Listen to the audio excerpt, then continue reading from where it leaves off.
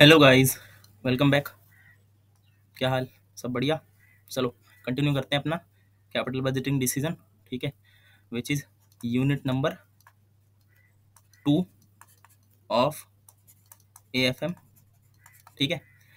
तो capital budgeting decision कर रहे हैं अभी हम इसमें, ठीक है? और होप सो कि या तो इस वीडियो में, या फिर इसके बाद ज़्यादा से ज़्यादा एक और मैक्सिमम ठीक है? उसमें ख़त्म हो जाएगा अपना ये यूनिट ठीक है कंटिन्यू करते हैं।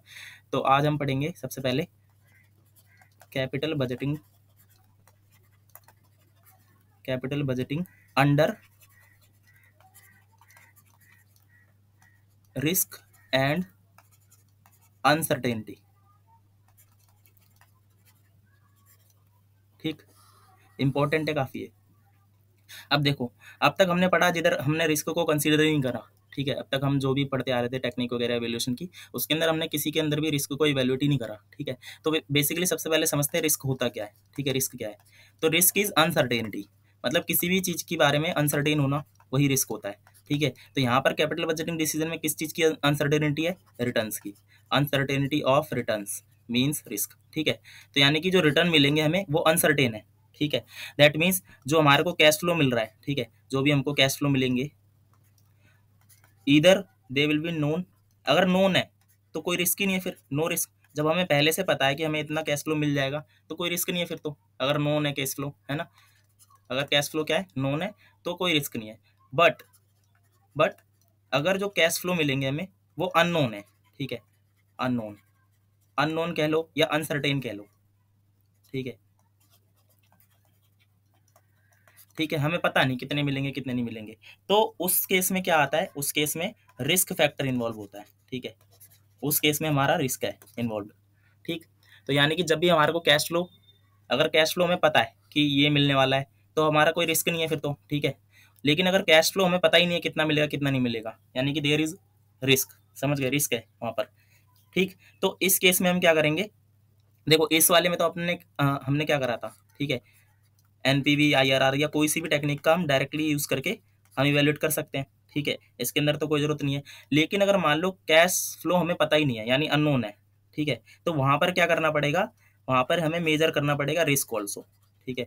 मेजर करना पड़ेगा किसको? रिस्क को भी, समझ गए? और उसको क्या करना पड़ेगा? एडजस्ट करना पड़ेगा फिर। रिस्क को एडजस्ट करने के बाद तब हम इवेल्युएट करेंगे, ठीक है? समझ गए? तो जो टेक्निक्स यहाँ पे यूज़ होनी है, वो टेक्निक्स क्या है बेसिकली तो ऐसी टेक्निक्स हैं वो, जिसके अंदर रिस्क और रिटर्न दोनों को इवेल्यूट किया जाता है, ठीक है? Risk and returns of the proposal is evaluated तो दोनों चीज़ों को इवेल्युएट करेंगे हम यहाँ पे, ठीक? समझ गए गाइज़ देखो, जैसे कि एग्ज़ाम्पल समझते हैं कि मतलब नोन और अननोन से क्या इफ़ेक्ट पड़ेगा? या क्या, कौन से होते हैं नोन और अननोन ठीक है, जैसे कि हमारे पास एक एग्ज़ाम्पल है। ठीक है, पहला एग्ज़ाम्पल हमारे पास कैश फ्लोज है, ठीक है। हमने पहले ईयर कैश आउटफ्लो किया, ठीक है। फिफ्टी थाउज़ेंड लेट सपोज़ और फिर हमको सेवेंटी थाउज़ेंड मिल रहा है, ठीक है नेक्स्ट ईयर मतलब at year at end of year one first year के एंड पे हमें सेवेंटी थाउज़ेंड मिल गया। तो यहाँ पर क्या है? Cash flow is known cash flow हमें पता है, ठीक है। मीन्स नो रिस्क कोई रिस्क नहीं है यहाँ पर, ठीक है? ये कोई रिस्क नो रिस्क वाला केस है। यानी कि यहाँ पे जो रिटर्न है, ठीक है? कह सकते हैं रिटर्न इज़ सर्टेन और जब रिटर्न सर्टेन होगा तो कोई रिस्क इन्वॉल्वमेंट होगी नहीं यहाँ पर, ठीक है? अब एग्ज़ाम्पल दूसरा देखते हैं। मान लो इसमें हमारे पास कैश फ्लो है, ठीक है? वही हमने फिफ्टी थाउज़ेंड पहले दिया। देन नेक्स्ट ईयर का हमसे बोल दिया जाए कि या तो साठ हज़ार मिल सकता है या फिर मिल सकता है सत्तर हज़ार, ठीक है? या मिल सकता है अस्सी हज़ार। अब यहाँ पर आप देख सकते हो, यहाँ पर मतलब हमको कंफर्म नहीं है, ठीक है? यानी return is not certain return is not certain तो this means risk is involve risk is involve तो यहाँ पर हमारे पास क्या है? रिस्क इन्वॉल्व है इस वाले में, ठीक है? समझे? तो इसका मतलब ये वाला जो प्रपोजल है, इसमें रिस्क कंटेन है। ठीक है रिस्क का फैक्टर इन्वॉल्व है इसके अंदर। ठीक? अब अगर हम ऐसे समझे कि एक और एग्ज़ाम्पल देखते हैं। ठीक है? ये कैश फ्लो है हमारा। ठीक है? फिफ्टी थाउज़ेंड हमने दिया। Then we will receive twenty thousand at the year end of one ठीक है? फिर हमको ये हमारा टाइम है। ईयर मैं इधर लिख देता हूँ। ये zero one two three and four ठीक है? फिर हमसे मान लो कह देता है कि या तो तीस हज़ार मिलेंगे, ठीक है, या फिर हमें मिलेंगे पैंतीस हज़ार सेकेंड ईयर के एंड में। फिर कहता है, या तो दस हज़ार मिलेंगे भाई, या मिलेंगे आपको पच्चीस हज़ार, ठीक है। फिर थर्ड ईयर कहता है, या तो पच्चीस हज़ार मिलेंगे या आपको मिलेंगे तीस हज़ार। अब आप ये बताओ, यहाँ तक तो हमें पता है, ठीक है, यहाँ पर क्या हमारा रिटर्न सर्टेन है? मतलब रिटर्न इज़ नोन नोन कह लो या सर्टेन कह लो, ठीक है। तो return is known therefore no risk यहाँ तक तो कोई रिस्क है नहीं अपने को, ठीक है? यहाँ पर तो कोई रिस्क नहीं है मतलब यहाँ पर रिस्क फ्री है यहाँ तक अपन। लेकिन यहाँ से यहाँ तक देखेंगे तो यहाँ से यहाँ तक क्या है? Returns are returns are uncertain पता नहीं हमें मतलब कंफर्म नहीं पता क्या मिलेगा, क्या नहीं मिलेगा, ठीक है? तो इसका मतलब यहाँ पर क्या है? दस कंटेन रिस्क देयर फोर यहाँ पर किसका इन्वॉल्वमेंट है? रिस्क का इन्वॉल्वमेंट है। समझ गए? तो अब यहाँ पर देखते हैं एक बारी। थ्योरेटिकल पॉइंट ऑफ़ व्यू से कि कितने तरह के रिस्क हो सकते हैं, ठीक है? टाइप्स ऑफ़ रिस्क हालाँकि इस पे आएगा नहीं थ्योरेटिकल क्वेश्चन ठीक है? बाकी आप समझ लो, ठीक है? पॉइंट पॉइंटर समझ लेते हैं बस। तो देखो, सबसे पहले होता है प्रोजेक्ट स्पेसिफिक रिस्क मतलब जो प्रोजेक्ट वाइज वेरी करता है, ठीक है? प्रोजेक्ट स्पेसिफिक रिस्क जो प्रोजेक्ट वाइज वेरी करता है, यानी कि किसी में कैश फ्लो ज़्यादा है, ठीक है? इनिशियल कैश फ्लो ज़्यादा है किसी में किसी में इनिशियल कैश फ्लो कम है, ठीक है? तो ऐसे करके ये वेरी करता है रिस्क ठीक है? फिर इसके अलावा और क्या हो सकता है? कंपटीशन रिस्क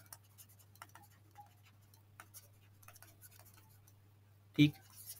और है अपना, जैसे इंडस्ट्री में काम कर रहे हैं हम, ठीक है, किसी भी तो उस इंडस्ट्री का रिस्क ठीक है? रिस्क बहुत तरह के हो सकते हैं। इसके अलावा इंटरनेशनल रिस्क अगर हम इंटरनेशनल बिज़नेस करते हैं, या फिर लेट सपोज़ हम कोई रॉ मटेरियल यूज़ करते हैं, जिसके अंदर हमारा जो रॉ मटेरियल है वो इंटरनेशनल है, ठीक है, या फिर जो इम्पोर्ट किया जाता है तो वो भी एक तरह का रिस्क है। इसके अलावा और कौन सा रिस्क हो सकता है? तो मार्केट रिस्क हो सकता है, ठीक है। मार्केट रिस्क मतलब डिमांड सप्लाई ठीक है शॉर्टेज ऑफ़ डिमांड वगैरह, ये सारे रिस्क हो सकते हैं। तो ये सारे कॉमन टाइप्स ऑफ़ रिस्क हैं, ठीक है। अब हम आगे चलते हैं कि मतलब हमें इसके अंदर जब रिस्क फैक्टर इन्वॉल्व करना होता है तो क्या अजम्सन लेते हैं? ठीक है अजम्सन अंडर रिस्क यानी कि जब कैपिटल बजटिंग डिसीज़न इवेल्युएट करेंगे तो कौन सी अजम्सन लेंगे? ठीक है? अजम्पन्स अंडर रिस्क ठीक है? अजम्पन्स कौन कौन सी होती है रिस्क के अंडर तो देखो,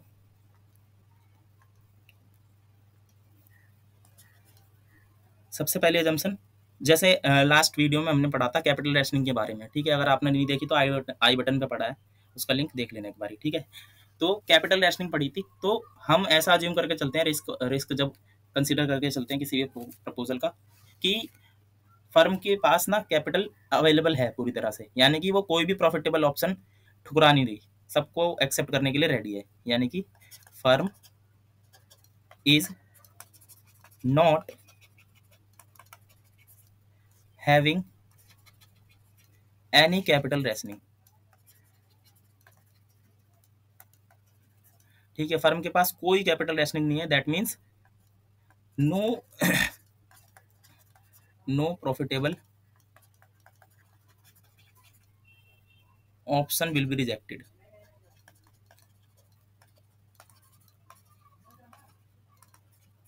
यानी कोई भी प्रॉफिटेबल ऑप्शन रिजेक्ट नहीं कर रहे, हम सबको एक्सेप्ट करने के लिए रेडी हैं, ठीक है? हमारे पास कैपिटल है। और दूसरा रिस्क उसी में होगा जिसके अंदर हम, क्या है? जिसके अंदर अनसर्टेनिटी है, ठीक है? लेकिन यहाँ पर हमें सबसे पहले जो कैश आउटफ्लो है, यानी कि जो हमारी नेट इन्वेस्टमेंट है, ठीक है? उसका तो पता होना चाहिए, ठीक है? वो सर्टेन होनी चाहिए हमारी, ठीक है? यानी कि net investment is known with certainty वो तो हमें पता है। कि वो कितना देना है।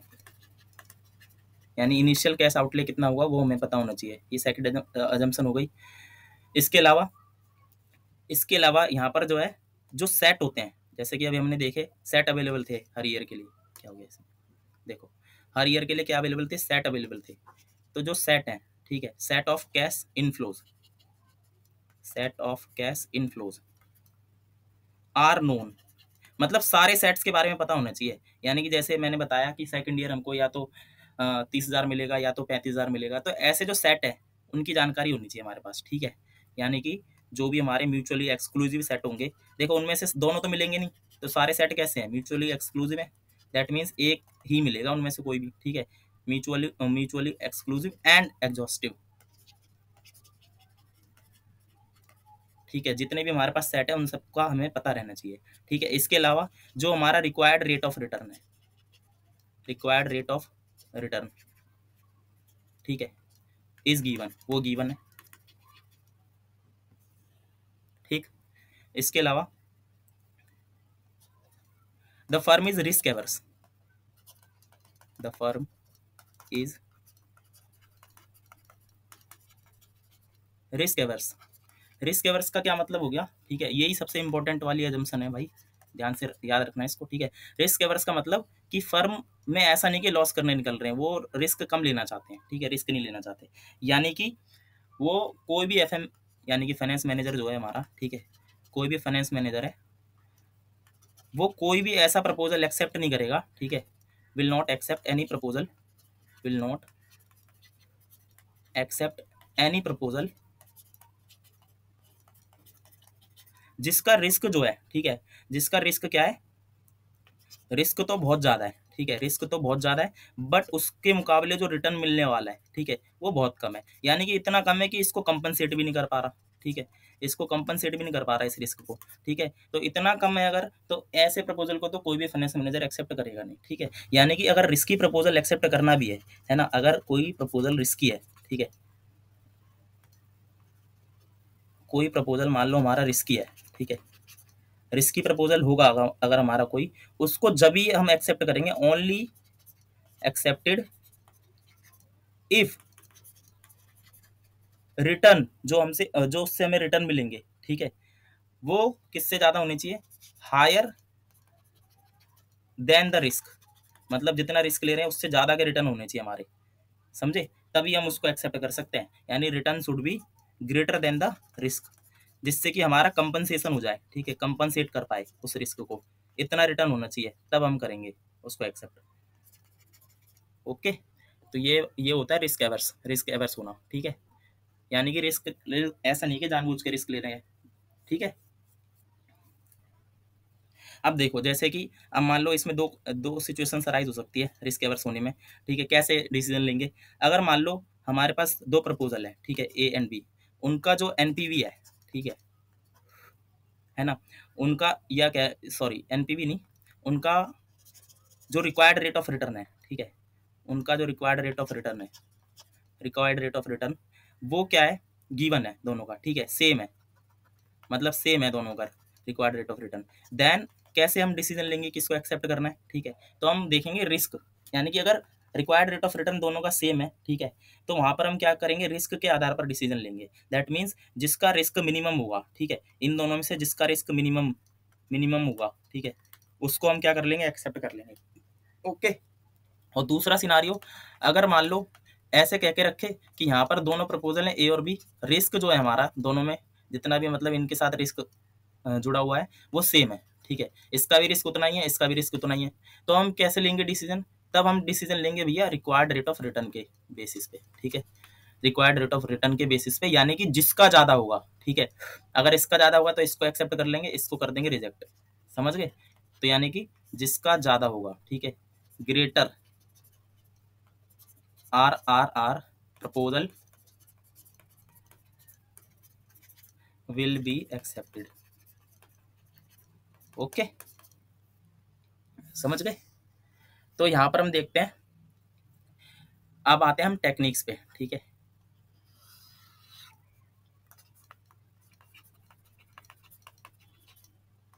Techniques of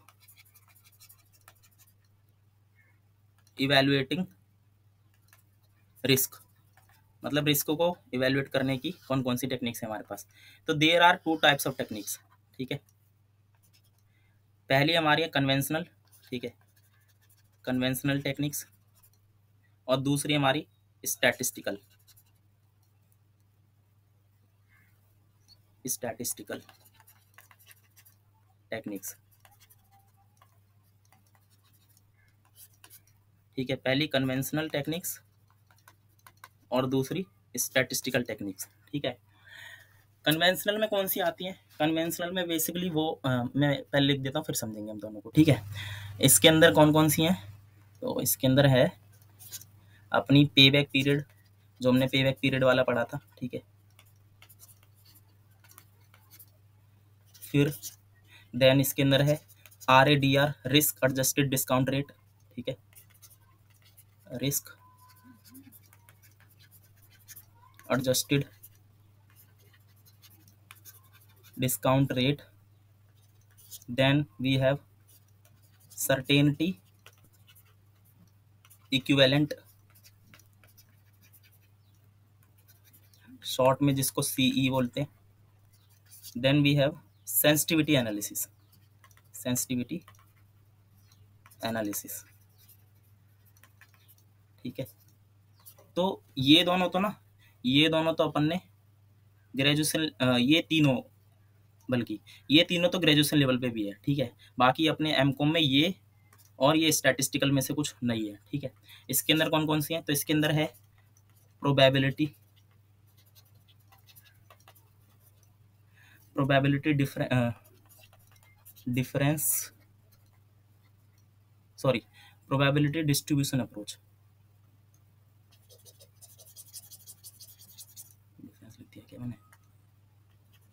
probability distribution approach ठीक। इसके अलावा इसके अंदर हमारे पास सिमुलेशन सिमुलेशन एनालिसिस ओ में भी है सिमुलेशन यहाँ पे भी है, ठीक है। इसके अलावा हमारे पास है decision tree analysis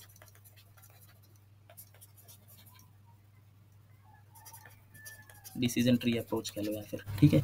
ये कुछ टेक्निक्स है हमारी, जो रिस्क के लिए यूज़ होती हैं, ठीक है? रिस्क कैलकुलेट करने के लिए। अब हम एक करके पढ़ते हैं, ठीक है? इन टेक्निक्स को। तो फ़र्स्ट पार्ट में हम पढ़ेंगे कन्वेंशनल टेक्निक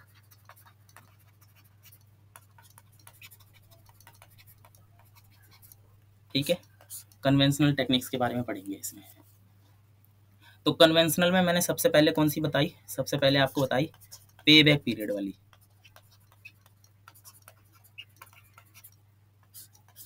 ठीक है? तो पे बैक पीरियड में क्या होता है? बेसिकली पे बैक पीरियड आपको याद होगा। ठीक है? हमने कैलकुलेट करना सीखा था। देखो कन्वेंशनल टेक्निक जो भी होती है ना, ये सारी बेसिकली इनको ना और नामों से भी जानते हैं। जैसे कि इसको ट्रेडिशनल टेक्निक्स भी कहते हैं इनको। ट्रेडिशनल टेक्निक्स भी यही है अपनी। ठीक है? इसके अलावा इनको अपन नॉन मैथमेटिकल टेक्निक्स भी कहते हैं।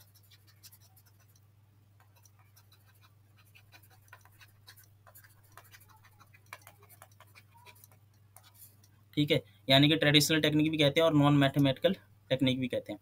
तो जो कन्वेंशनल टेक्निक्स होती हैं, ये सारी बेस्ड होती हैं किस पे? अजम्पन्स पे। ठीक है? बेस्ड ऑन थ्योरेटिकल अजम्पन्स इन सब की अपनी अपनी अजम्पन्स होती है। मतलब जितनी भी टेक्निक्स हैं इसके अंदर, उन सब में अजम्पन्स लेके चलते हैं हम कुछ, ठीक है?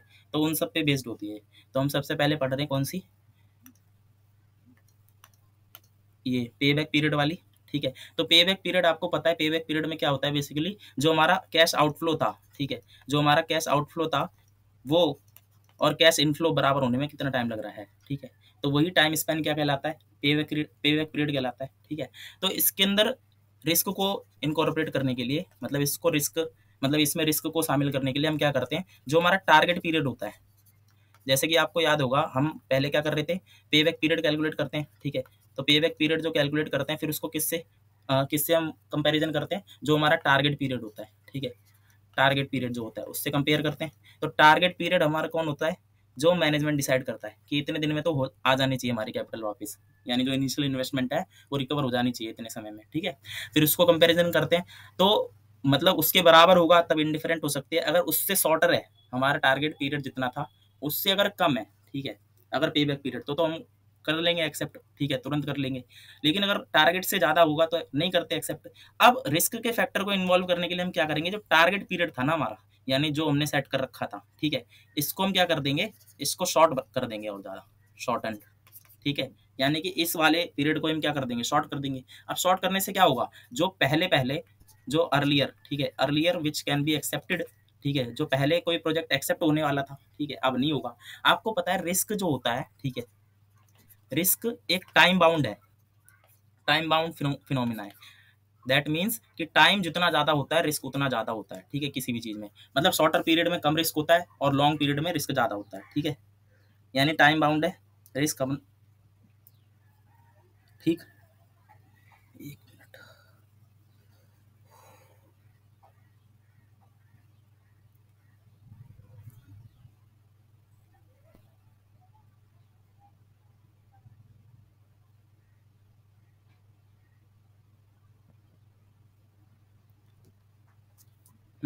तो देखो रिस्क जो होता है मतलब अगर कोई कैश फ्लो जो मिल रहा है हमें, कोई कैश फ्लो जो मिल रहा है, वो जितने शॉर्ट पीरियड में मिलेगा, ठीक है? जितना उसको रिकवर करने का शॉर्ट पीरियड होगा उतना ही हमारे लिए रिस्क कम है। क्योंकि हम क्या करेंगे, उसी कैपिटल को, जो हमको मतलब कैश इनफ्लो मिलेगा, अगर वो जल्दी मिल पा रहा है तो हम दोबारा से री इन्वेस्ट कर सकते हैं, ठीक है?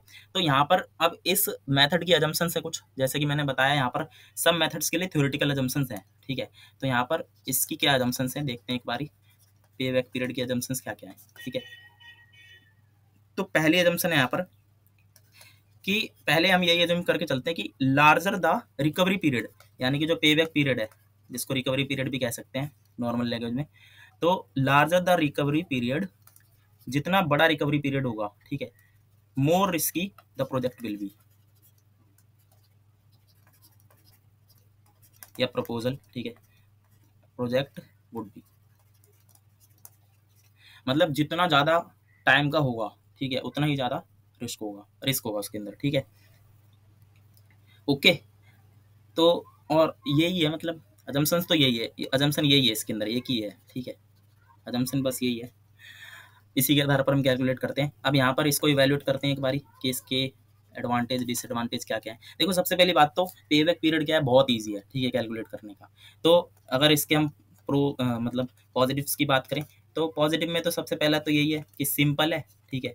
एंड स्ट्रेट फॉरवर्ड कोई इसमें एक्स्ट्रा कैलकुलेशन नहीं, कोई कुछ नहीं, ठीक है?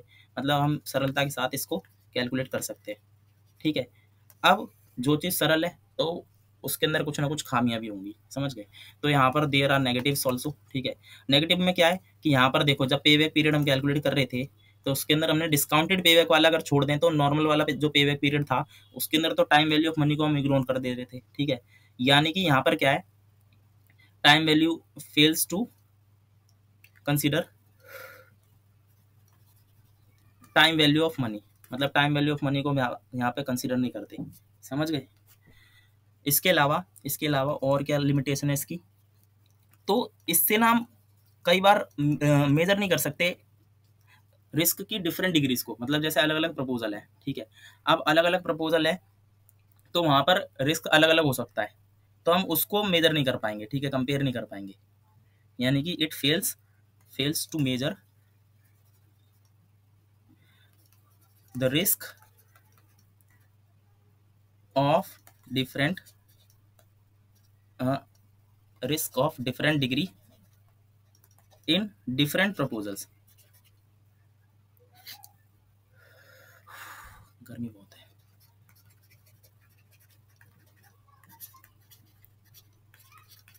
डिफरेंट ऑल्टरनेटिव प्रपोजल्स ठीक है? और लिमिटेशन क्या है इसकी? और इसके अंदर क्या है? देखो, इसके अंदर हम टाइम पीरियड को कम करते जा रहे हैं, ठीक है? यानी कि एक ही इसके अंदर फैक्टर है रिस्क का, ठीक है? यानी कि एक ही फैक्टर को रिस्क के यहाँ पर इवेल्युएट कर रहे हैं हम, वो है टाइम यानी कि टाइम जितना कम रिस्क उतना कम टाइम जितना ज़्यादा रिस्क उतना ज़्यादा. बस यही कर रहे हैं इसके अंदर तो ठीक है? समझ गए? तो देखो हाँ अब आपको ये समझ आ गया हम दूसरे मेथड पे जाने से पहले एक चीज़ समझते हैं कि मतलब जैसे हमने सबसे पहले क्या करना होता है मतलब किसी भी प्रपोजल को अगर हमें रिस्क एडजस्ट करना है तो कैसे करेंगे, ठीक है? सबसे पहले तो हम पहचानेंगे, ठीक है? सबसे पहले क्या करते हैं? आइडेंटिफिकेशन ऑफ़ रिस्क ठीक है? आइडेंटिफिकेशन और फिर उसको मेजर करेंगे एंड मेज़रमेंट ठीक है? सबसे पहले आइडेंटिफाई करना पड़ता है रिस्क को, फिर मेजर करना पड़ता है। देन उसके बाद क्या करेंगे? तो उसके बाद दो चीज़ें हो सकती हैं, ठीक है? उसको सेट ऑफ़ करने के लिए। हमने रिस्क देख लिया आइडेंटिफाई कर लिया। तो दो चीज़ें होंगी, जैसे कि हमने लास्ट वीडियो में इन्फ्लेशन पढ़ा था, ठीक है? कैपिटल बजटिंग अंडर इन्फ्लेशन पढ़ा था। तो अगर वो वीडियो नहीं देखी तो देख लेना ऊपर, ठीक है? आई बटन से। तो इन्फ्लेशन के अंदर हमने पढ़ा था कि जो एब्सोल्यूट रिटर्न होता है, या फिर रियल रिटर्न जो होता है, वो इन्फ्लेशन से क्या होता है? कम मतलब इन्फ्लेशन रेट की वजह से अफेक्ट हो जाता है, ठीक है? तो यहाँ पर भी क्या है, और ऐसा क्यों हो रहा था? क्योंकि दो तरह के कैश फ्लो है, ठीक है? रियल होगा नॉमिनल होगा। और दो तरह के डिस्काउंट रेट है रियल और नॉमिनल तो अगर रियल कैश फ्लो होता तो रियल डिस्काउंट रेट से डिस्काउंट करेंगे। नॉमिनल कैश फ्लो था तो नॉमिनल डिस्काउंट रेट के साथ डिस्काउंट करेंगे, ठीक है? अब इसके अंदर क्या है? इसके अंदर भी हमको या तो हम क्या करें? एडजस्ट कर दें किसको, ठीक है? मतलब हमने जो मेजर कर लिया, अब उस रिस्क को एडजस्ट करेंगे, ठीक है? तो कहाँ कहाँ एडजस्ट कर सकते हैं? या तो हम उसको एडजस्ट कर दें to adjust the discount rate या तो हम डिस्काउंट रेट में एडजस्ट कर दें उसको। ठीक है, जैसे कि हमने वहाँ पे किया था, या तो रेट को चेंज कर लो या कैश फ्लो को चेंज कर लो, ठीक है? तो या तो यहाँ पे हम क्या कर सकते हैं to adjust the discount rate to reflect the risk या तो हम डिस्काउंट रेट के अंदर उसको रिफ्लेक्ट करा सकते हैं, ठीक? और what what we can do ठीक है? इसके अलावा क्या कर सकते हैं, हम कैश फ्लो को एडजस्ट कर सकते हैं to adjust the cash flows ठीक है? To incorporate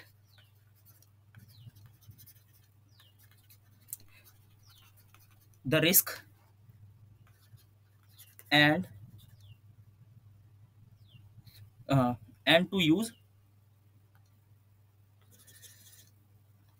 and फिर उसको हम क्या करेंगे? उसको फिर रिस्कलेस डिस्काउंट रेट के साथ ठीक है?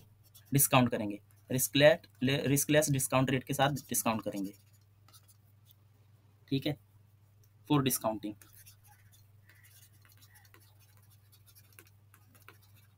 मतलब इसका मतलब ये हो गया कि हम सबसे या हम क्या कर सकते हैं, हम कैश फ्लो को ही एडजस्ट कर दें, ठीक है? जो हमारे कैश फ्लो थे उनको ही एडजस्ट कर दें और फिर उसके बाद हम रिस्क फ्री डिस्काउंट रेट कर लें वहाँ पे यूज़ ठीक है?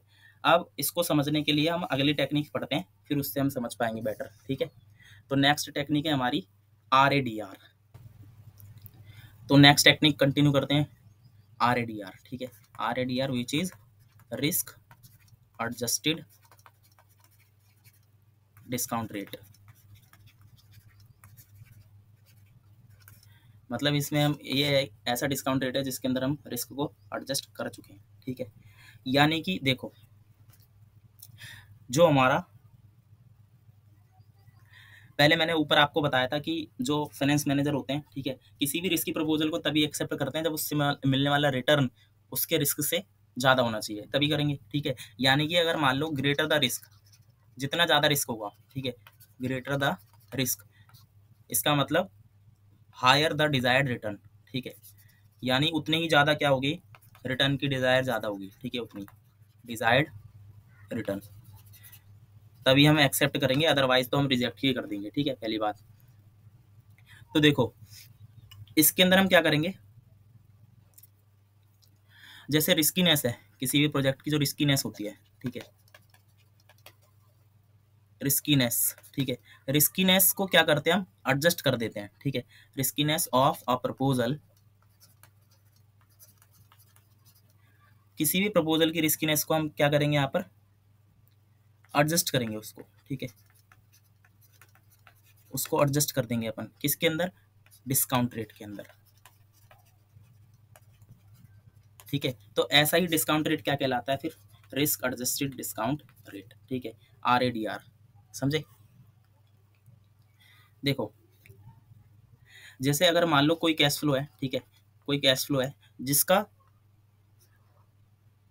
मतलब वो किसी रिस्की रिस्की प्रपोजल का कैश फ्लो है, ठीक है तो जितना ज़्यादा रिस्की प्रपोजल का कैश फ्लो होगा, ठीक है तो हमको उतने ही ज़्यादा हायर डिस्काउंट रेट से डिस्काउंट करना चाहिए उसको, ठीक है मतलब उतने ही ज़्यादा हायर डिस्काउंट रेट से डिस्काउंट करना चाहिए। अब आप बोलोगे ये क्या मतलब हुआ? देखो डिस्काउंट रेट क्या होता है? डिस्काउंट रेट का मतलब क्या है भाई? मिनिमम रेट ऑफ़ रिटर्न मतलब मिनिमम रेट ऑफ़ रिटर्न जितना चाहिए अपने को, ठीक है? उतना तो मिलना ही चाहिए। तो मतलब जितना ज़्यादा रिस्की है भाई, उतना ही ज़्यादा अपना मिनिमम रेट ऑफ़ रिटर्न होगा। यानी कि इसको अपन डिज़ायर रिटर्न भी तो कह सकते हैं। कि मतलब जो हमारा डिज़ायर रिटर्न है, हमें जितना रिटर्न चाहिए, ठीक है? वो उतना ही ज़्यादा होगा जितना ज़्यादा रिस्क होगा, समझ गए? वो कहते हैं ना कि higher the risk higher the return ठीक है? हायर रिस्क मतलब हायर रिटर्न अगर वो मिलेगा then we will consider the project otherwise we will reject समझ गए? हायर रिस्क हायर रिटर्न यही तो है बस कॉन्सेप्ट सिंपल सा ठीक है? ऐसे ही तो okay, कोई भी इन्वेस्टर होता है वो यही करता है भाई रिस्क तो जब ज़्यादा लेगा ना जब उसको रिटर्न ज़्यादा मिलेगा। जैसे कि अगर म्यूचुअल फंड्स की बात करें तो म्यूचुअल फंड्स में कैटेगरीज होती हैं जो हमारे स्मॉल कैप फंड्स होते हैं ठीक है? स्मॉल कैप फंड जो होते हैं हमारे तो उनके अंदर रिस्क क्या होता है? रिस्क उनके अंदर बहुत ज़्यादा होता है लेकिन उनके अंदर रिटर्न भी ज़्यादा होता है। फिर सी देखो उनका ठीक है? सी कितना हाई हाई होता है इनका। तो मतलब जितना ज़्यादा रिस्क उतना ज़्यादा रिटर्न ठीक है? तो यही होता है एफएम के अंदर भी। वो भी तो एफएम ही है। तो यहाँ पर यानी कि हम कह सकते हैं कि कोई रिस्की प्रपोजल है, ठीक है? तो उसका जो रिटर्न होगा मतलब उसका रिटर्न भी ज़्यादा होना चाहिए। दैट मीन्स डिस्काउंट रेट भी ज़्यादा होगा उसका, ठीक है? यानी कि हम कह सकते हैं कि जो हमारा डिस्काउंट रेट है, ठीक है? डिस्काउंट रेट है हमारा जो, और रिस्क है जो, ठीक है? डिस्काउंट रेट और रिस्क जो होता है, वो क्या है? वो एक दूसरे के डायरेक्ट प्रोपोर्शनेट है। दैट मीन्स रिस्क जितना ज़्यादा डिस्काउंट रेट उतना ज़्यादा चाहिए अपने को, ठीक है? समझ गए गाइस सिंपल है? अगर मान लो, देखो, अगर कोई रिस्क नहीं है, ठीक है? If there is no risk अगर मान लो कोई ऐसा प्रपोजल है if there is no risk there is no risk अगर कोई ऐसा प्रपोजल है जिसके अंदर कोई रिस्क ही नहीं है, ठीक है? तो रो नो रिस्क होने का मतलब जो डिस्काउंट रेट होगा, वो रिस्क फ्री है। Discount rate is risk free that means discount rate क्या है हमारा? रिस्क फ्री होगा गाइस समझ गए? तो ऐसे ही डिस्काउंट रेट को क्या कहते हैं? रिस्क फ्री डिस्काउंट रेट अब रिस्क फ्री डिस्काउंट रेट कहाँ मिलता है? ठीक है? रिस्क फ्री डिस्काउंट रेट का मतलब क्या है? तो रिस्क फ्री डिस्काउंट रेट एक तरह से आप ऐसे समझ सकते हो जैसे कि कोई भी इन्वेस्टर है, ठीक है? वो क्या करेगा? तो गवर्नमेंट बॉन्ड्स या जो गवर्नमेंट्स की सिक्योरिटीज होंगी, उनमें इन्वेस्ट करेगा। क्यों? क्योंकि उनमें निवेश करने पर क्या होगा? ठीक है? उनमें निवेश करने पर क्या है? उनका जो रिस्क है, ठीक है, वो ज़ीरो है ज़ीरो रिस्क है। तो ज़ीरो रिस्क लेने पर जितना रिटर्न मिल रहा है that is discount rate is risk free या फिर कह सकते हैं रिस्क फ्री डिस्काउंट रेट वही क्या है हमारा? रिस्क फ्री डिस्काउंट रेट है। अगर मान लो हमारे पास डिफरेंट प्रपोजल्स हैं, ठीक है, बहुत सारे प्रपोजल्स हैं। डिफरेंट डिफरेंट हमारे पास प्रपोजल हैं। उनका रिस्क अलग अलग है। ठीक है रिस्क भी क्या हुआ?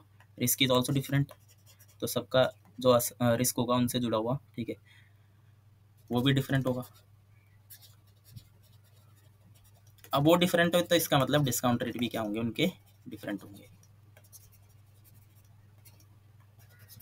ऑल्सो भी डिफरेंट ठीक? Now how how we will calculate the R A D R ठीक है? अब देखो, यहाँ पर जो दो रेट हैं, एक तो हमारा रिस्क फ्री रेट है, ठीक है रिस्क फ्री डिस्काउंट रेट है, यानी कि जो गवर्नमेंट सिक्योरिटीज़ पे मिल सकता है हमें, और एक है हमारा, ठीक है, एक है हमारा risk adjusted discount rate risk adjusted discount rate ठीक है, दो डिस्काउंट रेट हो गए, है ना? तो जो हमारा रिस्क फ्री डिस्काउंट रेट है लेट इज़ डिनोट बाय अब तक हम जिससे करते आ रहे हैं स्मॉल के ये हमारा स्मॉल के है, ठीक है? और जो रिस्क एडजस्टेड है let is let it denote by K A समझ गए? रिस्क एडजस्टेड डिस्काउंट रेट तो इन दोनों का जो डिफरेंस होता है, ठीक है इन दोनों का जो डिफरेंस होता है। अब जैसे ये रिस्क फ्री है इसके अंदर कोई रिस्क नहीं है।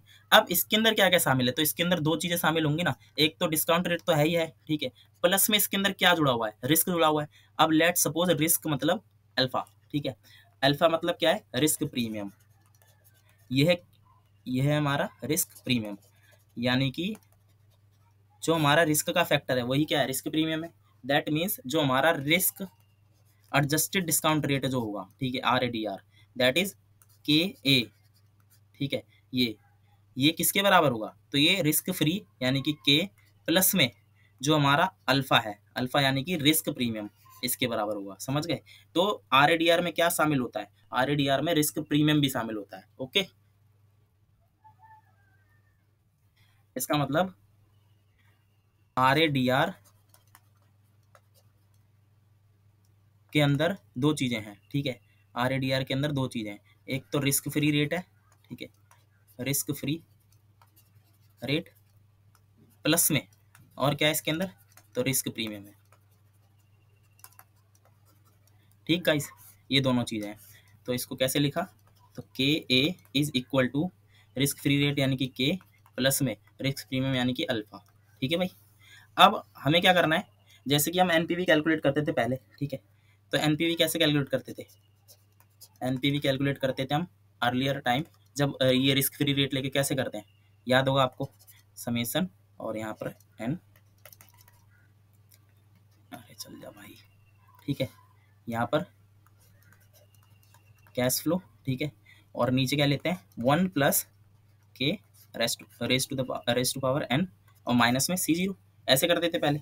अब यहाँ पर क्या करेंगे? तो जब हमें ये रिस्क वाला फैक्टर इंक्लूड करना है, ठीक है? तो हमारा फॉर्मूला चेंज हो जाएगा। हमारा फॉर्मूला क्या हो जाएगा? और इस वाले एनपीवी को कहेंगे रिस्क रिस्क एडजस्टेड एनपीवी समझ गए? आर ए एनपीवी है ना? रिस्क एडजस्टेड एनपीवी तो इधर कैसे निकालेंगे? बस सब कुछ सेम रहेगा आपका।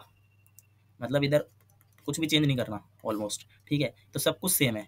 यहाँ पर कैश फ्लो लेंगे, ठीक है? और नीचे बस यहाँ चेंज होगा, ठीक है? यहाँ पर चेंज जाएगा। तो यहाँ पर अपन उधर क्या लेते थे? रिस्क फ्री रेट ये हमारा रिस्क फ्री रेट था, ठीक है? रिस्क फ्री रेट था ये हमारा। अब यहाँ पर क्या लेंगे? रिस्क एडजस्टेड रेट लेंगे। समझ गए? और माइनस में कैश फ्लो ओके तो ये हमारा हो गया किसका formula R A N P V यानी कि ये वाली चीज़ क्या है? ठीक है? ये वाली चीज़ क्या है गाइज़ तो ये है अपना risk adjusted discount rate R A D R समझे? तो दैट इज़ द डिफरेंस तो यहाँ पर आर ए डी आर वाला आपको समझ आ गया। हुँ? हम्म? अब यहाँ पर रूल क्या है? मतलब एक्सेप्टेंस रूल ठीक है?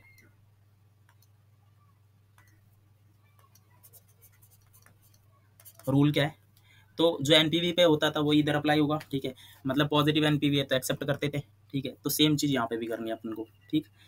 तो दैट मीन्स यहाँ पर अगर हमारा जो हमने एनपीवी कैलकुलेट करा है रिस्क एडजस्टेड एनपीवी ठीक है? वो हमारा अगर पॉजिटिव है या ज़ीरो है, ठीक है? तो क्या कर सकते हैं? एक्सेप्ट कर सकते हैं। अब वो आपको पता है कि पॉजिटिव होगा तभी कोई एक्सेप्ट करेगा ज़ीरो के केस में क्यों करेगा, ठीक है? और दूसरा, अगर रिस्क एडजस्टेड एनपीवी जो हमारा है, वो नेगेटिव आ जाए, ठीक है? तो हम क्या कर देंगे? रिजेक्ट कर देंगे, बस शांतिपूर्वक। सही बात है कि नहीं? ठीक है इस तो ये था आर है ना? इवेल्युएट करते हैं इसको। देखो, इसके अंदर क्या है? इसके अंदर हम प्रॉफिट को देखते हैं सिर्फ़, ठीक है? एनपीवी है तो एनपीवी में तो प्रॉफिट अप्रोच है। प्रॉफिट ओरिएंटेड है, ठीक है? इसके अलावा यहाँ पर टाइम वैल्यू ऑफ़ मनी को हम कंसिडर करेंगे, ठीक है? इसके अलावा यहाँ पर रिस्क का एडजस्टमेंट हो रहा है भाई।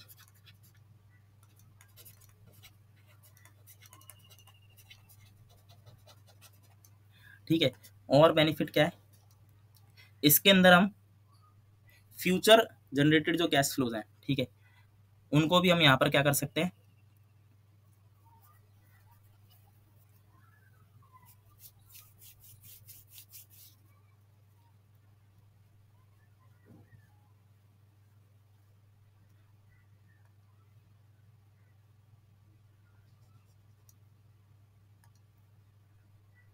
और इसके अलावा it helps in expecting the future profit generated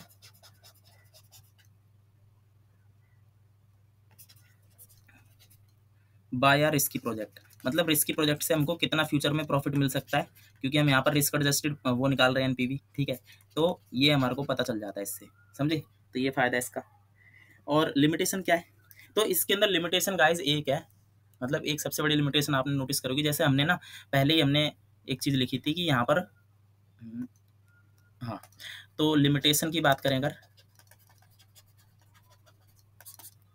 सबसे बड़ी लिमिटेशन ये है कि यहाँ पर ना जो फ्यूचर कैश फ्लो जैसे मैंने बताया था अनसर्टेन होते हैं कभी कभी यानी कि दो तीन ऑप्शन है हमारे पास, उसमें से कुछ भी मिल सकता है। तो उसके बारे में तो हमने यहाँ पर कुछ किया ही नहीं। ठीक है? यानी कि does not adjust it does not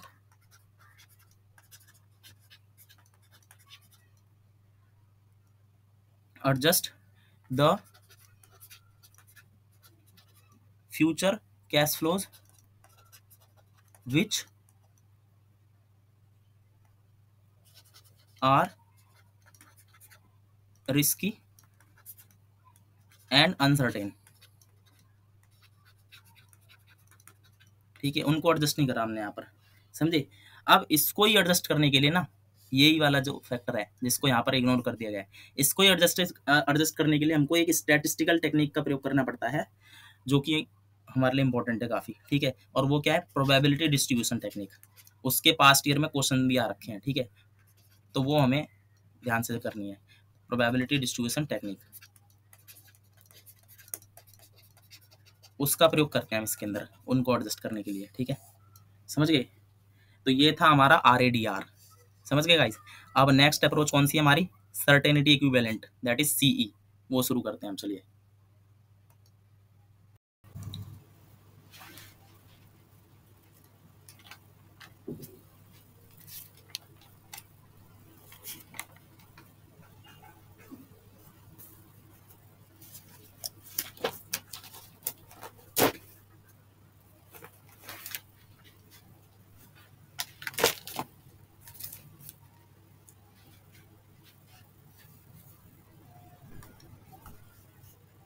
So guys let start technique number three that is certainty equivalent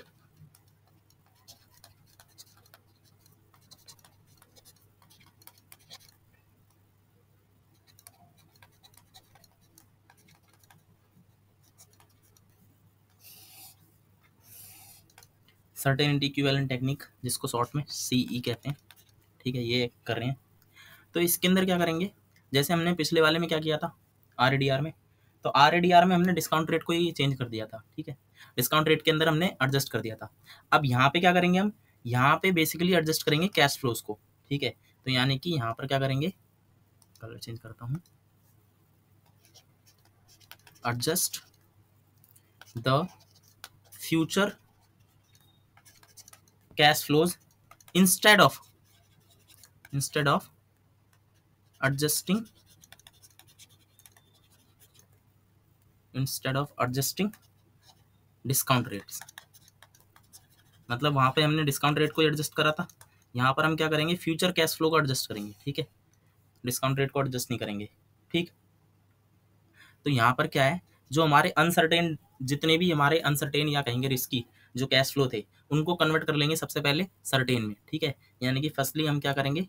तो अनसर्टेन जो भी हमारे अनसर्टेन्ड या फिर कह सकते हैं रिस्की कैश फ्लो होंगे, ठीक है? उनको अपन कन्वर्ट कर लेंगे। किसके अंदर? सर्टेन कैश फ्लोज के अंदर।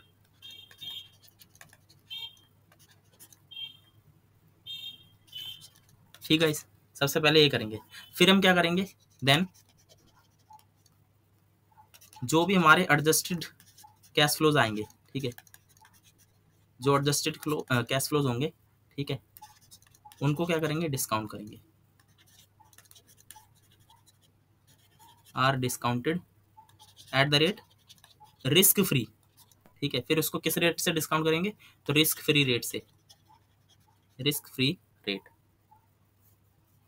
to find NPV ठीक है? समझ गए? सर्टेनिटी इक्विवेलेंट में क्या होता है? तो इसका प्रोसीजर देखते हैं।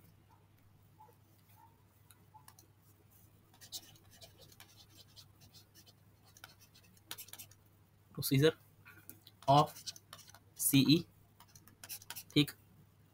तो सबसे पहले क्या करना है हमें? एस्टिमेट करना है फ्यूचर कैश फ्लोज को। Estimate the future cash flows ठीक? देन क्या करेंगे? देन कैलकुलेट करना है। कैलकुलेट सीई फैक्टर अब ये सीई फैक्टर क्या होता है गाइस ठीक है? मतलब सी फैक्टर कैलकुलेट करेंगे अलग अलग ईयर्स के लिए, सबके लिए। डिफरेंट ईयर्स क्योंकि हम क्या कर रहे हैं? इस अप्रोच में हम क्या कर रहे हैं? जो कैश फ्लो है, उसी को एडजस्ट कर रहे हैं डायरेक्ट ठीक है?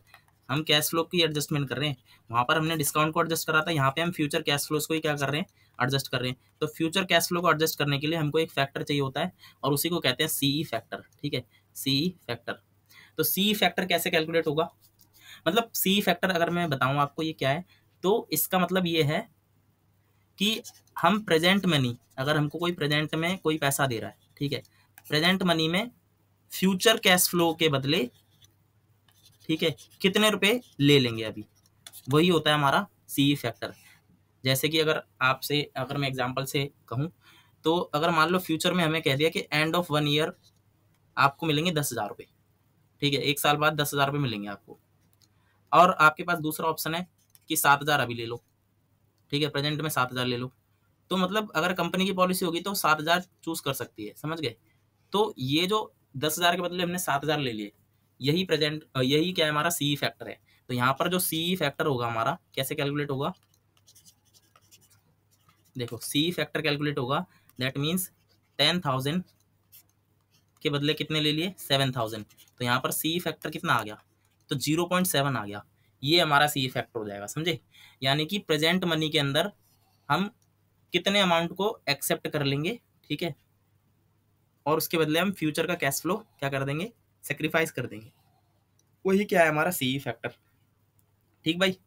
तो अगर फर्म रेडी है भाई सेवन थाउज़ेंड एक्सेप्ट करने के लिए आज ही तो यहाँ पर ज़ीरो पॉइंट सेवन क्या हो जाएगा? सी फैक्टर हो जाएगा अपना। ठीक है ज़ीरो पॉइंट सेवन क्या होगा?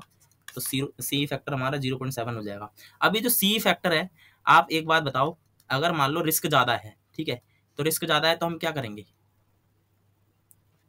भाई रिस्क जितना ज़्यादा होगा, देखो, रिस्क जितना ज़्यादा है कि मतलब ये दस हज़ार, हमसे कह तो रहा है कि दस हज़ार मिलेंगे, लेकिन रिस्क है बहुत, पक्का नहीं है, कह रहा है, पता नहीं, मुझे मिलेंगे भी, नहीं भी मिलेंगे तो यानी कि यहाँ पर रिस्क है, ठीक है? तो जितना ज़्यादा रिस्क होगा, हम प्रेजेंट में क्या बोलेंगे? भाई तू ऐसा कर, उतने ही कम पैसे दे दे, हम तो कहेंगे कि छः हज़ार भी दे दे हटा, ठीक है? अब क्योंकि उसका तू कह रहा है, भरोसा नहीं है आगे फ्यूचर कैश फ्लो का भरोसा नहीं है हमें तो अनसर्टेनिटी है। तो अनसर्टेनिटी होने की वजह से हमने क्या कहा कि हमारी फर्म कह रही है कि हम छः हज़ार रुपये दे दो आज, आप, हम उतने ही एक्सेप्ट कर लेंगे।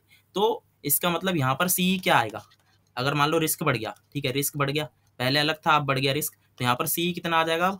Six thousand divided by ten thousand यानी कि ज़ीरो पॉइंट सिक्स आ जाएगा। और पहले कितना आ रहा था? सेवन तो पहले रिस्क कम था, तब सी ज़्यादा आ रहा था। ठीक है? अब रिस्क ज़्यादा है तो सी कम आएगा। यानी कि इन्वर्स रिलेशनशिप है दोनों के बीच में। ठीक है भाई? तो रिस्क ज़्यादा, इसका रिज़ल्ट ये होगा कि सी की वैल्यू कम आएगी। मतलब जो हमारा सी फैक्टर है, वो कम आएगा। समझ गए? देखो, फिर नंबर थ्री पहले आपको एस्टिमेट करना है कैश फ्लोज को और फिर सी फैक्टर को कैलकुलेट करना है। देन क्या करना है? मल्टीप्लाई करना है।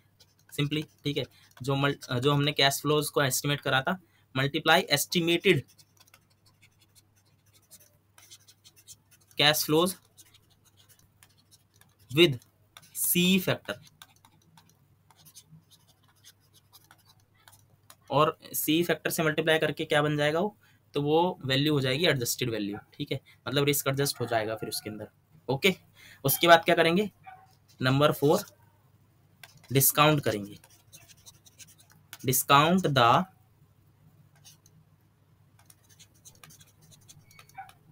certainty equivalent cash flow वो जो यहाँ पर मल्टीप्लाई करेंगे, जो हम एस्टिमेटेड कैश फ्लो और सी फैक्टर को, ठीक है? तो यहाँ से क्या निकल के आएगा? Certainty equivalent cash flow C C F लिख रहा हूँ मैं शॉर्ट में, ठीक है? Certainty equivalent cash flow C E C F ठीक? Certainty certainty equivalent cash flow जो आएगा तो उसको हम डिस्काउंट करेंगे किस रेट पर? तो at the rate risk free risk free जो रेट होगा, उस पर डिस्काउंट करेंगे हम, ठीक है? फिर क्या निकालेंगे? टू फाइंड एनपीवी और ऐसे करके एनपीवी निकाल लेंगे, ठीक? तो यहाँ पर जो निकल के आएगी एनपीवी क्या होगी अगेन रिस्क एडजस्टेड एनपीवी निकल के आएगी। तो यहाँ जो फॉर्मूला होगा गाइस वो क्या होगा? समेसन एन यहाँ पर अल्फ़ा ठीक है? यहाँ पर ये अल्फ़ा अल्फ़ा क्या है? तो अल्फ़ा हम सी फैक्टर को अल्फ़ा से डिनोट कर रहे हैं यहाँ पर, ठीक है? सी फैक्टर को हम किससे डिनोट कर रहे हैं? अल्फ़ा से, ठीक है गाइस तो हर ईयर के लिए अलग अलग सी फैक्टर होगा। तो यहाँ पर आई ईयर ठीक है? तो हर ईयर के लिए अलग अलग सी फैक्टर लेंगे। और यहाँ पर C F initial cash flow ठीक है? और नीचे वन प्लस में डिस्काउंट रेट ठीक है? और कौन सा डिस्काउंट रेट लेना है? रिस्क फ्री वाला, ठीक है गाइस और माइनस में C zero initial cash flow. Okay? ठीक है? अब देखो, जो सी फैक्टर होता है, जो हमारा सी फैक्टर यानी कि अल्फ़ा की जो वैल्यू है, ठीक है? सी फैक्टर ऑलवेज अब इसकी जो वैल्यू होगी, ठीक है? इसकी जो वैल्यू होगी ज़ीरो से वन के बीच में होती है हमेशा, ठीक है? अब चलिए आगे चलते हैं। अब डिसीज़न रूल क्या है? सर्टेनिटी इक्विवेलेंट में। एनपीवी बेस्ड है ये भी, ठीक है? तो यहाँ पर जो हमारा सर्टेनिटी इक्विवेलेंट एनपीवी जो आएगा सीई एनपीवी अगर ये पॉजिटिव है या ज़ीरो है देन एक्सेप्ट अगर नेगेटिव है देन रिजेक्ट सिंपल है, ठीक है?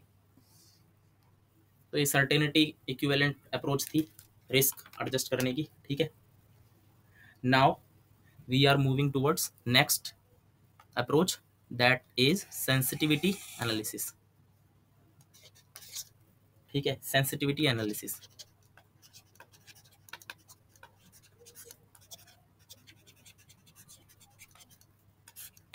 कैसे हो रहा है clean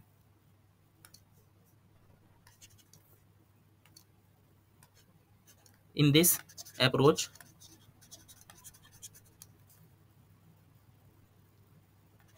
we analyze the change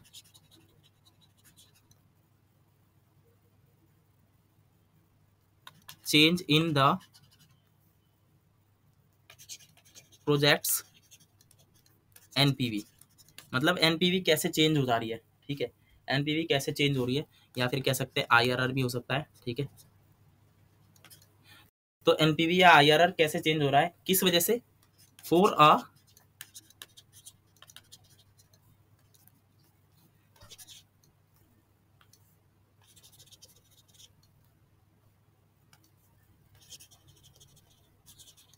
change in one variable मतलब जैसे देर आर सर्टेन वेरिएबल्स ठीक है? काफ़ी सारे वेरिएबल्स होते हैं। जिनसे एनपीवी पर अफेक्ट पड़ता है। तो मतलब किसी एक वेरिएबल के चेंज होने से, किसी एक वेरिएबल के चेंज होने से क्या इफ़ेक्ट पड़ा है एनपीवी पर? वही एनालिसिस क्या कहलाता है? सेंसिटिविटी एनालिसिस कहलाता है। ठीक है? तो इसके स्टेप्स देखते हैं। कौन कौन से स्टेप्स होते हैं इसके अंदर?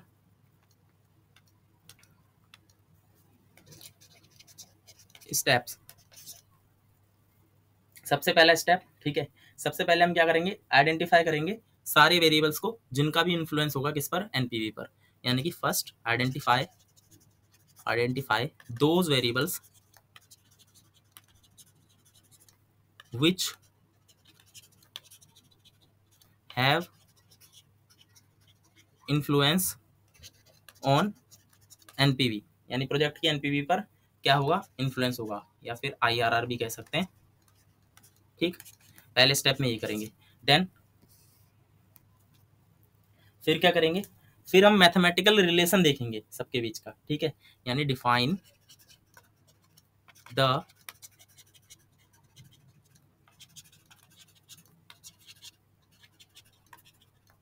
mathematical relation between variables ठीक? मैथमेटिकल रिलेशन देखेंगे सबके बीच का। देन थर्ड स्टेप में क्या करेंगे? इम्पैक्ट को एनालाइज करेंगे, ठीक है? Analyse the impact of the variables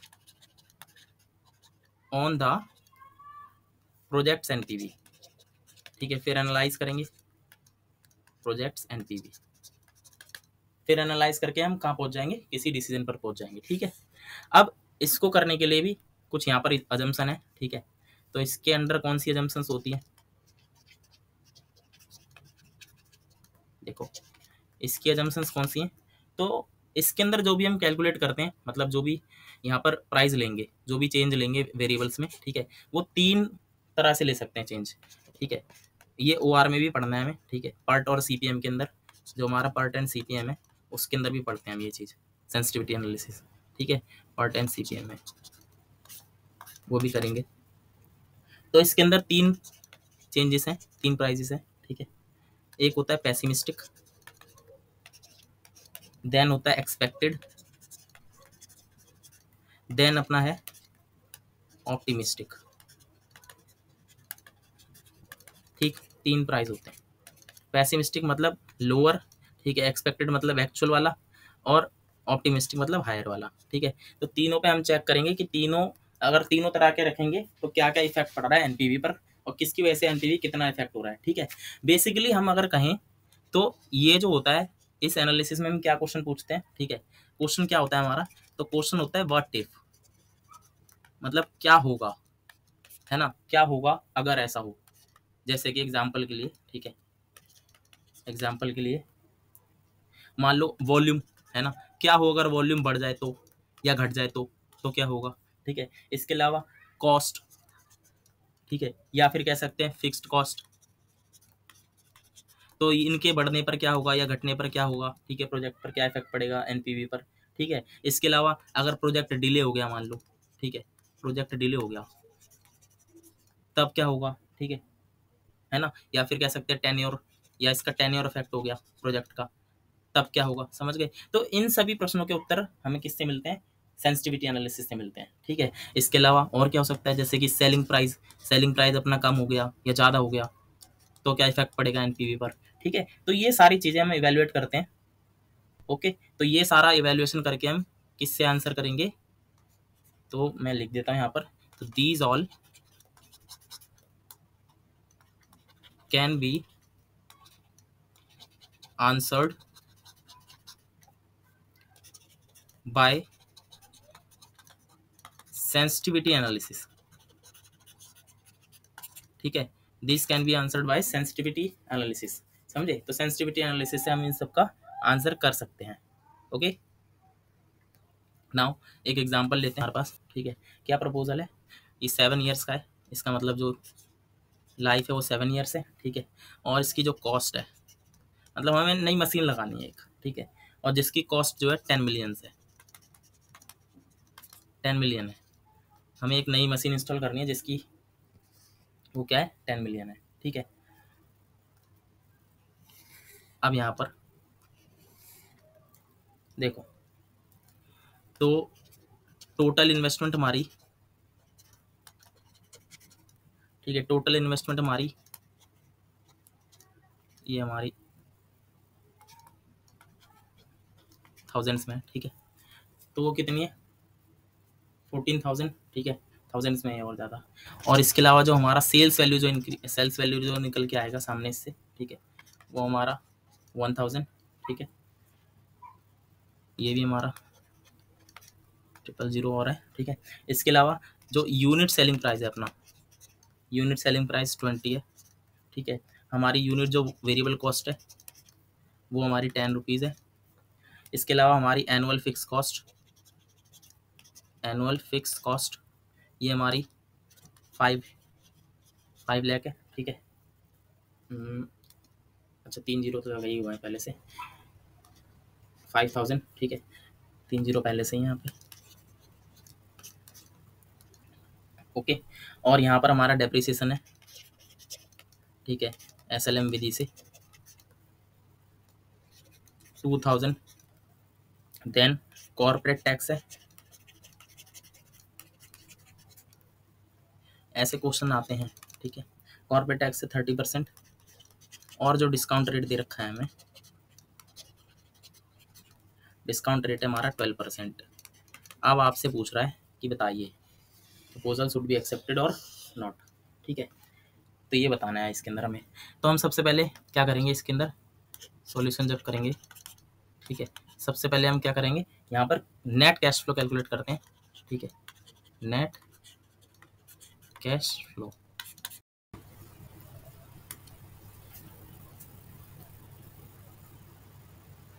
तो यहाँ पर कैसे करेंगे गाइस तो ये हो गया अपना सेल्स वॉल्यूम वन थाउज़ेंड ठीक है? इनटू करेंगे। यहाँ पर कंट्रीब्यूशन क्या आएगा? तो sales price minus B C B C minus करेंगे ट्वेंटी माइनस टेन ठीक है? देन माइनस करेंगे, इसमें से फिक्स कॉस्ट फाइव थाउज़ेंड और प्लस में डेप्रिसिएशन भी माइनस करेंगे। ठीक? ये जितना भी आएगा, इसको इनटू करेंगे। One minus zero point three ठीक है? टैक्स रेट ओके तो टैक्स रेट निकाल देंगे तीन परसेंट और तीस परसेंट टैक्स रेट माइनस कर दिया। एट दी एंड दोबारा से इसके अंदर डेप्रिसिएशन ऐड कर लेंगे एज नॉन कैश एक्सपेंस है। तो यहाँ पर कितना आएगा? इसको सॉल्व करने पर बीस में से दस गया दस तो टेन थाउज़ेंड माइनस में पाँच और दो सात, थ्री थाउज़ेंड आ जाएगा टोटल, ठीक है? थ्री थाउज़ेंड इंटू में पॉइंट सेवन और प्लस में टू थाउज़ेंड तो तीन सत्ते इक्कीस सौ, प्लस में दो हज़ार तो यहाँ पर कितना आ गया गाइस यहाँ पर आ गया फोर्टी वन हंड्रेड, ठीक है? तो ये हो गया हमारा एनुअल कैश फ्लो ठीक है? एनुअल नेट कैश फ्लो अब हमें कैलकुलेट करनी है NPV NPV at the rate twelve percent अब ये एनुअल है, ठीक है? तो एन्यूटी लगा देंगे यहाँ पर ट्वेल्व परसेंट की सेवन ईयर्स के लिए, ठीक है? तो annuity at the rate twelve percent for seven years ठीक है? तो उसकी वैल्यू कितनी होती है? तो N P V at the rate twelve percent कितनी आ जाएगी? इकतालीस सौ रुपये हमारा नेट कैश फ्लो है, ठीक है? इकतालीस सौ नेट कैश फ्लो है। और इंटू करेंगे सात परसेंट की एन्यूटी ठीक है?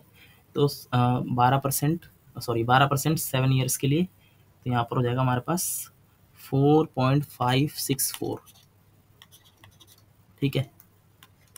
और इसमें से माइनस कर देंगे। इनिशियल इन्वेस्टमेंट फोर्टीन थाउज़ेंड तो ये हमारा आएगा सैंतालीस सौ बारह अप्रोक्स ठीक है? ये हमारी एनपीवी आ गई और ये सैंतालीस सौ बारह पॉजिटिव है। ठीक है? तो since N P is positive तो इसका मतलब क्या? इसका मतलब यही है भैया वी विल एक्सेप्ट ठीक है प्रोजेक्ट एक्सेप्ट कर लेंगे। तो इसका आई आर आर कैलकुलेटेड है जो, ठीक है, वो मान लो ट्वेंटी टू परसेंट है। अभी क्या है, अभी सब कुछ नॉर्मल रख के हमने कैलकुलेट करा है, ठीक है, जो हमारे पास गिवन डेटा है। और ये सारा जो गिवन डेटा है, ठीक है, ये सारा जो डेटा है, इसको अपन क्या कहते हैं तो ये हमारा एक्सपेक्टेड डेटा है। हमने एक्सपेक्ट कर एक्सपेक्टेड है ये हमारा, ठीक है। अब हम क्या करेंगे, इस, इन सभी वेरिएबल्स को चेंज करके देखेंगे, ठीक है। मतलब एक को एक को चेंज करके देखते हैं और क्या इम्पैक्ट पड़ेगा, वो देखेंगे फिर इसका। मतलब फोरकास्ट अब फोरकास्ट करेंगे हम। फोरकास्ट अंडर डिफरेंट अजम्पन्स जो हमने ऊपर अजम्पन्स देखी थी, ठीक है? तो उन सभी अजम्पन के अंदर हम देखेंगे फोरकास्ट इनका अजम्पन्स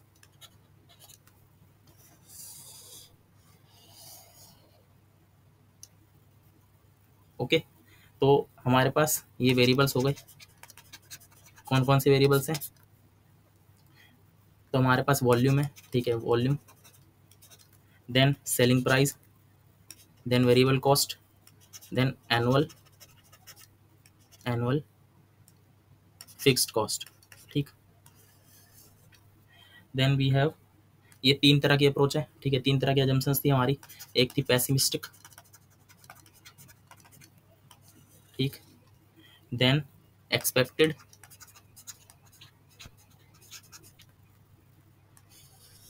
देन ऑप्टिमिस्टिक ठीक?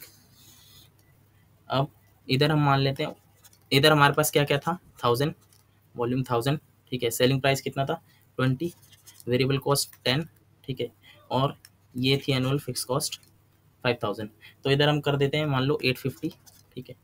इधर हम कर देते हैं सेलिंग प्राइस सेवनटीन क्योंकि ये क्या होता है, इससे कम होता है एक्सपेक्टेड से कम होता है, ठीक है? और variable cost let suppose variable cost बढ़ा दी हमने, ठीक है? ग्यारह पचास कर दी, और ये भी बढ़ा दी हमने, ठीक? और इस तरफ़ ग्यारह सौ पचास वॉल्यूम बढ़ गया, ठीक है? सेलिंग प्राइस भी बढ़ गया, तेईस सौ, और ये हमारी कम होगी कॉस्ट रिड्यूस होती है, ठीक है? तब फ़ायदा है तो एट पॉइंट फाइव हो गई, और ये हमारा एनुअल फिक्स कॉस्ट मान लिया forty two five hundred fifty हो गई, ठीक है? अब यहाँ पे हम सेंसिटिविटी एनालिसिस अब क्वेश्चन में बोला गया सेंसिटिविटी एनालिसिस करके बताओ, ठीक है? एक्सेप्ट होना चाहिए, नहीं होना चाहिए? तो यहाँ पर करते हैं सेंसिटिविटी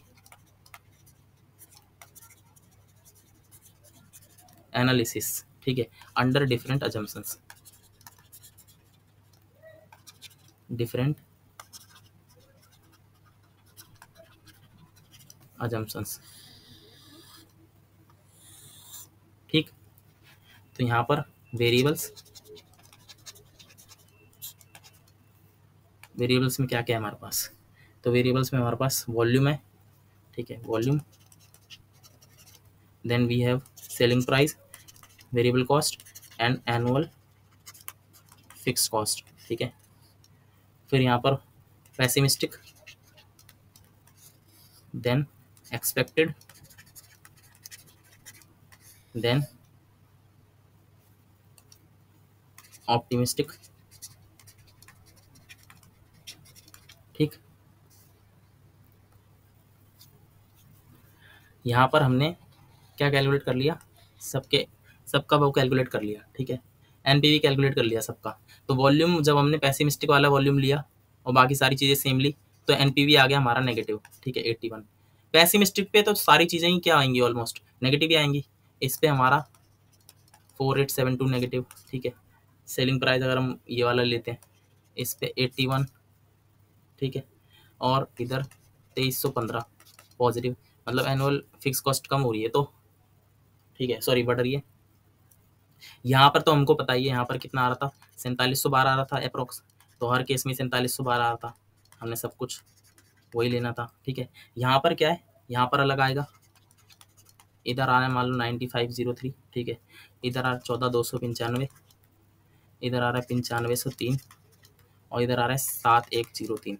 तो ये एनपीवी निकल गया सबका, ठीक है? अब यहाँ पर हम क्या करेंगे? तो एनालिसिस करेंगे, ठीक है? एनालिसिस कैसे? देखो। तो यहाँ पर हम एनालिसिस करेंगे। तो आपको दिख रहा होगा यहाँ पे, सबसे ज़्यादा चेंज किसकी वजह से आ रहा है? सबसे ज़्यादा चेंज एनपीवी में किन किन, किस चीज़ों की वजह से आ रहा है, ठीक है? तो सेल वॉल्यूम पहली बात तो ये। पैसिमिस्टिक वाला वॉल्यूम ले रहे हैं तो 81 हो गया नेगेटिव और एक्सपेक्टेड वाला ले रहे हैं तो सैंतालीस सौ बारह और ऑप्टिमिस्टिक में पंचानवे सौ, ठीक है? लगभग ऑलमोस्ट दो डबल हो गया। तो यहाँ पर डबल होता नज़र आ रहा है। यानी कि बहुत ज़्यादा फ्लक्चुएसन हो रही है किसकी वजह से? वॉल्यूम की वजह से एनपीवी में, ठीक है? इसके अलावा क्या है? इसके अलावा हमारा सेलिंग प्राइस की वजह से भी बहुत फ्लक्चुएसन नज़र आ रही होगी, देखो। यहाँ पर कितना है? फोर एट सेवन टू यहाँ पे फोर सेवन वन टू और यहाँ पर सीधे तीन गुना हो गया, ठीक है? तो यहाँ पर हम कह सकते हैं कि इन्हीं चीज़ों को क्या कहेंगे? इन वैल्यूज़ को, जो ये वेरिएबल है, जो सबसे ज़्यादा फ्लक्चुएट कर रहे हैं तो मोस्ट क्रिटिकल क्रिटिकल वेरिएबल्स ये हमारे क्या है? तो मोस्ट क्रिटिकल वेरिएबल्स हैं, ठीक है? कौन कौन से? तो एक तो हो गया हमारा सेल्स वैल्यू सेल्स वॉल्यूम ठीक है? और दूसरा क्या है हमारा? तो unit selling price unit selling price. ठीक, ये दोनों हमारे क्या कहलाएँगे? तो ये दोनों कहलाएँगे मोस्ट क्रिटिकल वेरिएबल्स। क्यों? क्योंकि यहाँ पर जो एनपीवी है, ठीक है? क्योंकि यहाँ पर जो एनपीवी है, इनकी वजह से उसके अंदर बहुत ज़्यादा चेंजेस आ रहे हैं, ठीक है? NPV significantly changing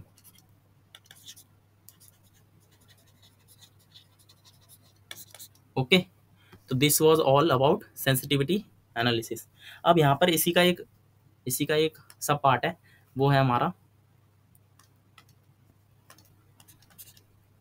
DCF break even analysis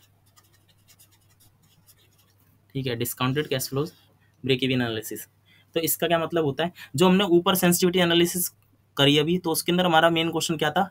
कि मतलब किस वेरिएबल की वजह से एनपीवी में कितना इम्पैक्ट आएगा? ठीक है, ये था। अब इसके अंदर क्या है? इसके अंदर ये है कि मतलब अगर हम किसी वेरिएबल को चेंज करें, ठीक है तो हम कितने हद तक चेंज कर सकते हैं? यानी कि what should be the minimum point okay तो वहाँ पे तो हम देख रहे थे कि अगर ये हुआ तो क्या होगा, वो हुआ तो क्या हुआ इसके अंदर क्या करेंगे? इसके अंदर हम आंसर करने की कोशिश करेंगे हाउ मच लोअर के अंदर सेल्स वॉल्यूम भी, मान लो अगर एक ही वेरिएबल को पकड़ के चलें तो इसके अंदर हम किस तरह के क्वेश्चंस को आंसर करेंगे?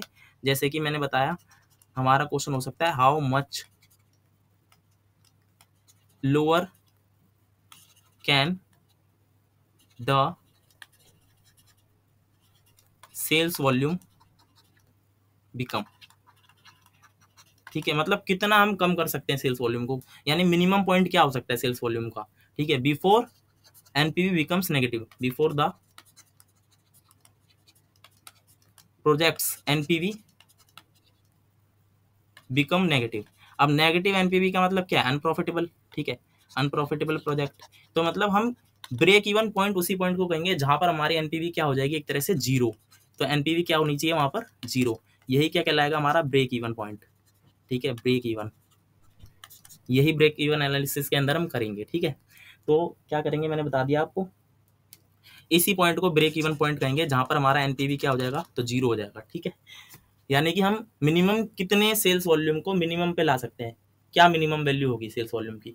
ठीक है? तो जैसे कि हमारा ऊपर वाले एग्ज़ाम्पल से अगर हम सॉल्व करें तो नेट कैश फ्लो हमारा कितना आ रहा था? फोर्टी वन हंड्रेड आ रहा था, ठीक है? फोर्टी वन हंड्रेड आ रहा था। जब हमने एनपीवी कैलकुलेट करी थी at the rate twelve percent ठीक है? ट्वेल्व परसेंट तो हमारी एनपीवी हमने निकाली थी, कितनी आई थी? सैंतालीस सौ बारह।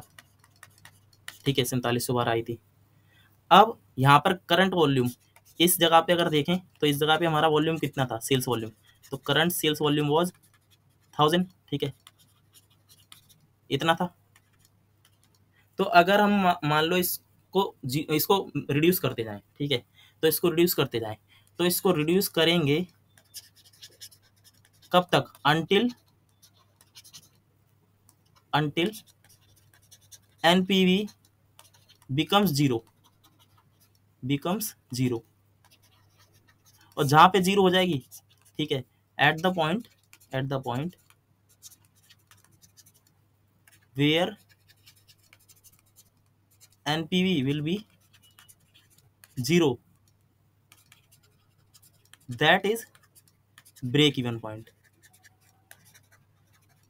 उसी को क्या बोलेंगे गाइस उसी को बोलेंगे ब्रेक इवन पॉइंट समझ गए? ब्रेक इवन पॉइंट क्या होता है? समझ गए होगे? तो यहाँ पर हम कैलकुलेट करते हैं एक बारी, अपने एग्ज़ाम्पल के लिए। ब्रेक इवन पॉइंट क्या होगा? मतलब कितने यूनिट्स पे होगा? ठीक है? देखो तो यहाँ पर ये हमने ले लिया वी ठीक है? यही तो निकालना है हमें? वी निकालना है? वॉल्यूम ही तो निकालना है, ठीक है? और इधर लेंगे हम एस पी माइनस में वी सी ठीक है? कंट्रीब्यूशन यानी कि? और माइनस में annual fix cost A F C ठीक है? फिर यहाँ पर क्या लेंगे? तो one minus tax rate plus